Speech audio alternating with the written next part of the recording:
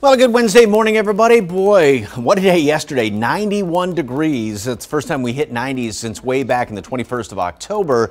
Of course, we did have that drier air in the afternoon, and so it was fairly comfortable if you were in the shade. But the humidity is starting to return now. There's no problem out there in the city proper, but you look down to the uh, southeast, we do have some fog which is developing, and most of that is going to be confined further on down to the southeast. Now, temperatures Still on the, the mild side, although down somewhat from yesterday. The humidity, though, is starting to work its way back in here. These dew points are starting to increase, especially down to the southeast, and that's going to be the case throughout the course of the day. Also, the clouds are going to be increasing. We've got some clear skies in town as of right now.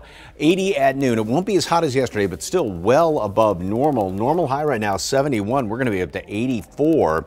And again, those clouds thicken up, stick around overnight. A couple of showers throughout the day tomorrow here and there. Then a better chance for some rain, showers and thunderstorms later tomorrow night, overnight into the wee hours of Friday morning. Some of those storms could be on the stronger side.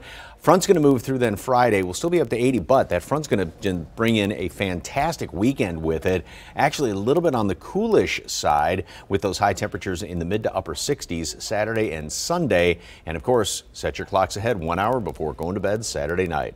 Keep up to date with all of San Antonio's top news, weather, and so much more by clicking the like and subscribe buttons below. And once again, thanks for watching KSAT.